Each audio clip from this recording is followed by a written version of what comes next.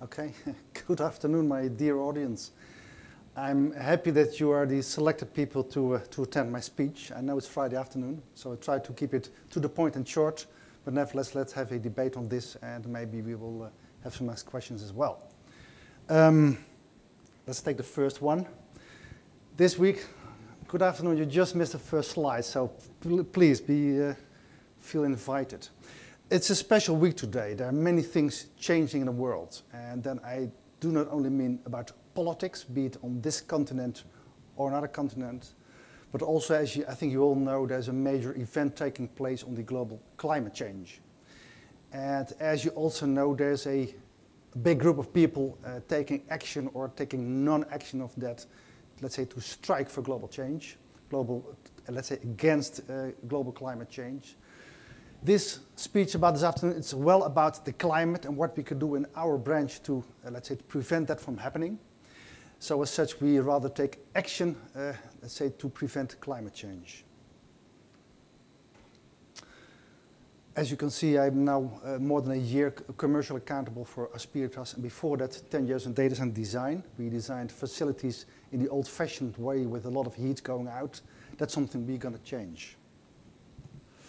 For those of you uh, who have been in the event in San Jose earlier this year, you might have seen this, this graph.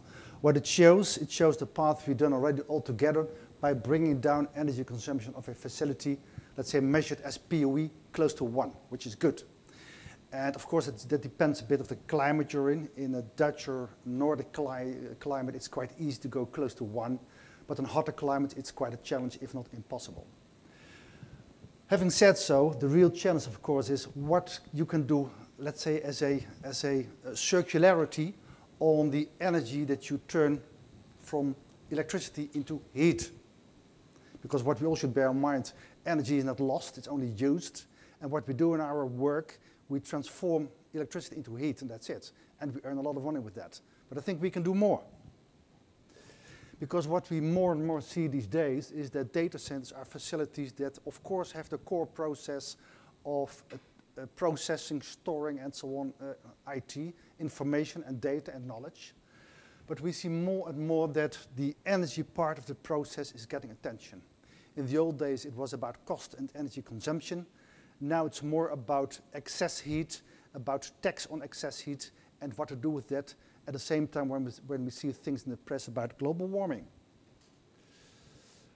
As I said, it's more than ever a, what I would say, a hot topic.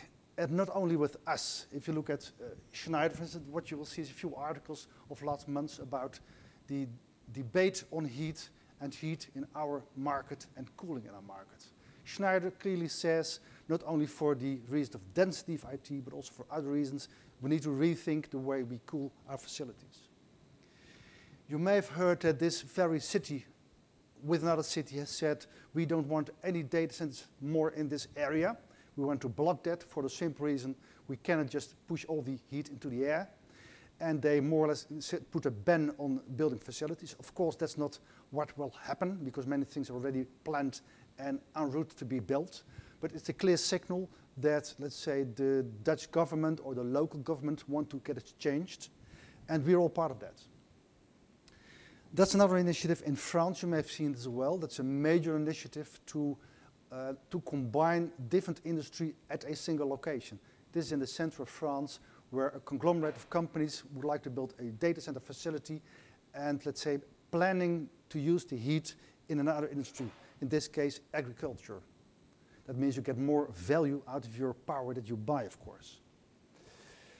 You all know, I think, what at least the Europeans uh, in the audience know what happened this summer in Europe. It was hotter than ever. That means heat and cooling and what to do with that is a hot topic. So apart from global change, it's also a technical challenge to cool facilities. And the last part, this was last month, a big article in a US paper also claiming there that they've noticed, of course, that the, uh, the uh, waste heat or excess heat, whatever you call it, produced by data centers needs to be dealt with somehow. And that's what we're here for. So I would like to introduce to you a unique opportunity. And what makes the opportunity I'll, I'll disclose to you unique is that it's about the location, it's about the utility supply, and it's also about cooling and value. And I'll make it clear to you.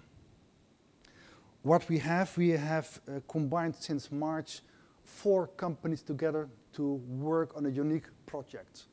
First of all, it's a utility provider called Eneco, which is a major Dutch company supplying electricity and heat to individuals and industry.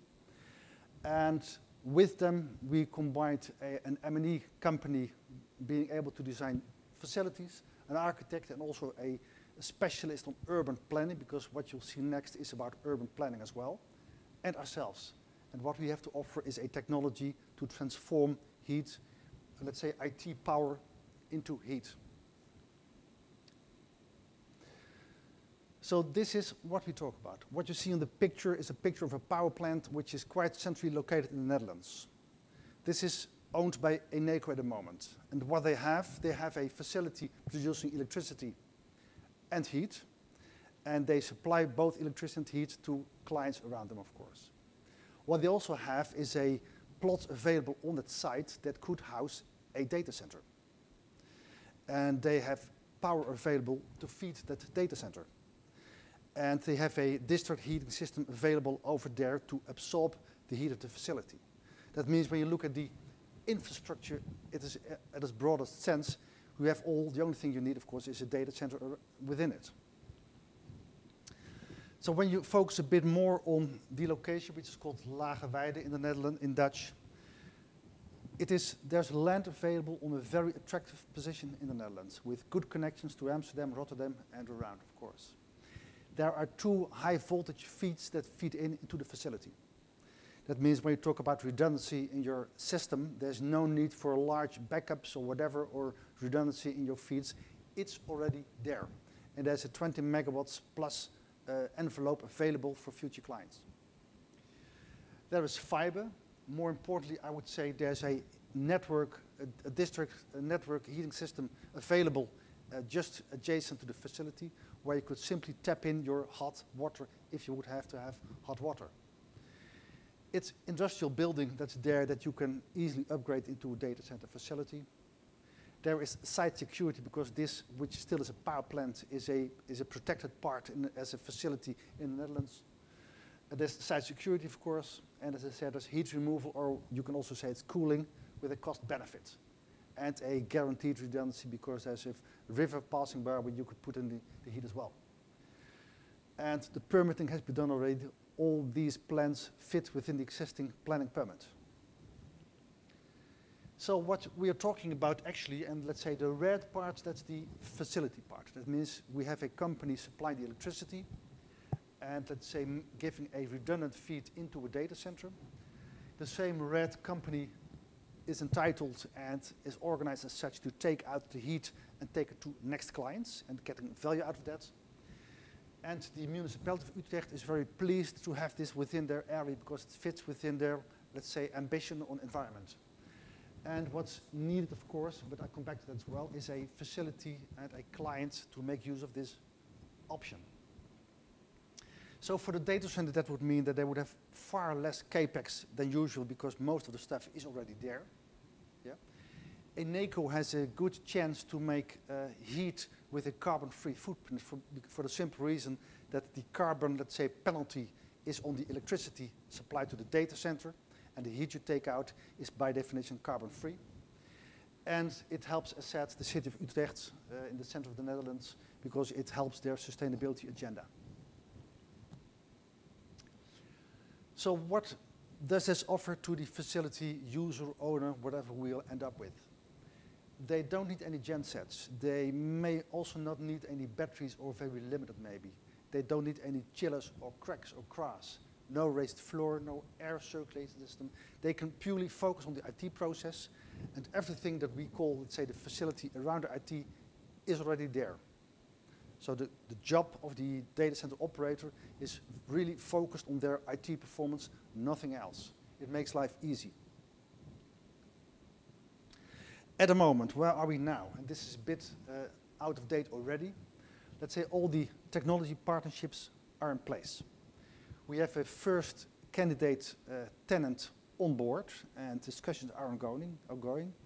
There is room for more tenants to step in to want to take this opportunity as well. That's an invitation to you all. And uh, of course, what, what we do in general, we aim to include these partners at an early stage because this is a kind of co-engineering, co-building the business with, the, with Eneco and all the others to make the best choice of technology and so on.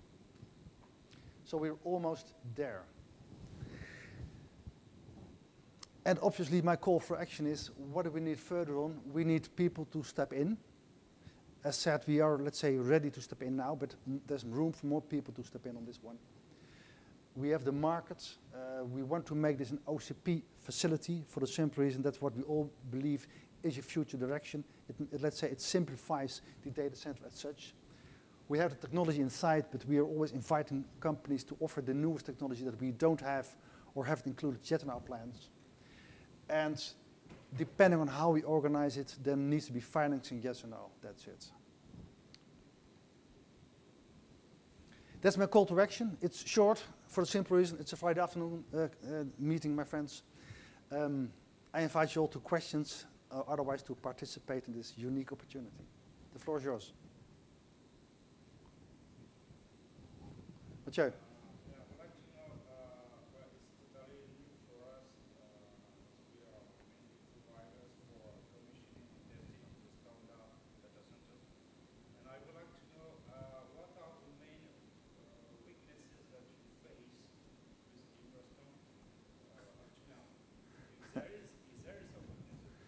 Yeah, I would I wouldn't call it weakness. When you look at let's say weakness from a technical perspective, I think we've we've covered them all. But to be fair as well, what you see is the the market still finds it difficult to weigh the clear benefits of our technology, but that's something I'm, I'm, not discussing here in big detail because it should not be a commercial meeting.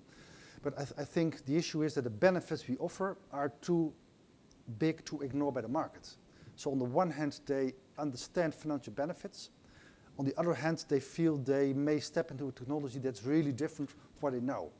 And this is a bit like comparing apples and pears or whatever you call it. That's difficult. And that's a process ongoing. We do that by uh, inviting uh, prospects in a, proof of concept or a extended trial or whatever you call it to let them see themselves. I always say we cannot convince clients. They need to convince themselves. We can only assist that process. That's what we try to do. So I don't see real weaknesses.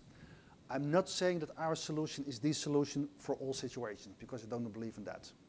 I do, however, think that the water is the, as the main uh, method of taking heat out is the future direction, be it in immersed, be it in rear cooling, or whatever you call it. Does it answer your question a bit? Any other questions? If not, you're still kindly invited to join our booth downstairs. We are at the end of the corridor. And if not, you know uh, on this page where to reach us. Thank you.